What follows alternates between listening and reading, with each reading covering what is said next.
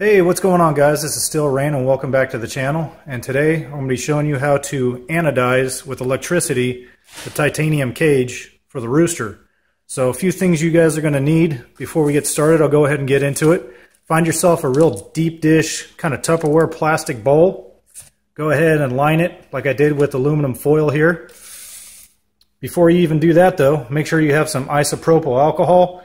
You're going to need this to clean off the part you don't want any sort of fingerprints, oils, anything on it. Otherwise, it could mess up the uh, anodized finish. So make sure that's really clean, free of all sort of fingerprints, any of that sort of stuff. That's pretty easy to do. Now what I did here is you can see this rig. I'm basically going to be anodizing this with two 4S batteries. And they're going to be set in series. So each one of these batteries, its cells are sitting at 3.75 volts times 8 equals 30 volts. So what I'll go ahead and do is I'll flash a picture up on the screen here and you'll see the anodizing color really depends on the voltage you apply to it.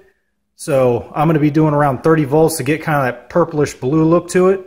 So what you need to do, and you could also do this with alligator clips, I just went ahead and made a series. So basically two batteries are going to be in series times eight, eight cells at 3.75 volts is 30 volts. So, you know, pretty easy there. You're also going to need some borax. You could either use borax, uh, baking soda, or you could use Comet Cleaner. So go ahead and one of those is going to be around your house, so you'll be able to find that pretty easy. Uh, you could also use, instead of batteries, if you have a power supply, you could also use that, but since I don't have one, I'm going to be using that. So what we're going to go ahead and do is what you do here is so for the borax, what you go ahead and do is add about a tablespoon's worth. Go ahead and dump that in there. Go ahead and add some water. I mean, it doesn't have to be exact, but a tablespoon, pretty good, pretty good measure.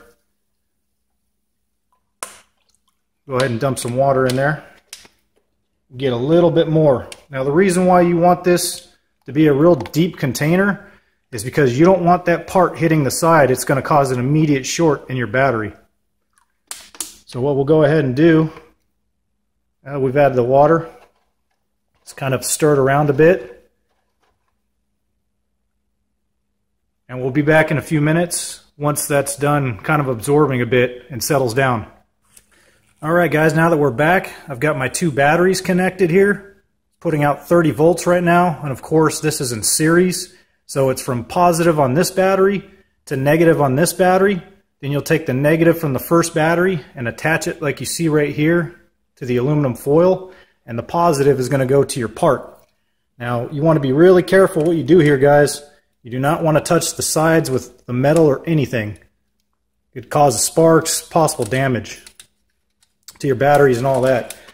So here we go. We're going to go ahead and throw the part in and see how it does. It's instantly starting to change colors to the purple. Don't want to touch the sides here, guys. I'm kind of shaking right now because I really do not want to touch the sides here. As you can see right now, color's coming out kind of bluish. Go ahead and put it in there a little bit longer.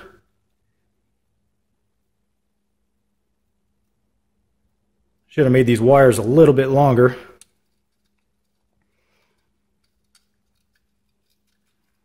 There we go, guys. See, it's kind of got that blue, blue hue to it, which is exactly what I wanted, kind of that bluish purple hint. So you guys go ahead and see what you decide. I'll go ahead and do a side-by-side -side here in a minute. All right, guys, as you can see here, finished product. It's got kind of a bluish purplish hue to it. It's kind of hard to see under the light. You see the extreme difference. And what's good about this process is if you put too much voltage into it, you could always just buff this out because this is just the outer kind of oxidized layer. This will buff out to look just like this again if you want to change the color. You definitely do not want to do this sort of anodizing with heat because it affects the properties in the metal and it also voids your Armattan warranty. But as you can see, really kind of hard to see under the light unless I get it just right. but it turned out real nice. No smudges, no, not anything. So what I'm going to go ahead and do now is get to this piece. And uh, if you guys want to, you know, change your color at all, just go ahead and look at the chart again or look it up yourself, anodizing titanium. You guys can find out exactly, you know, what would be the best for you because you could get, get yellow, uh, pretty much almost any color. You could also get near black if you had enough batteries and series and voltage and things like that. So hopefully you guys enjoyed the video, learned something. Please subscribe, like, and share. And as always, please leave any questions, comments, or suggestions down in the normal place below. I'll see you guys next time.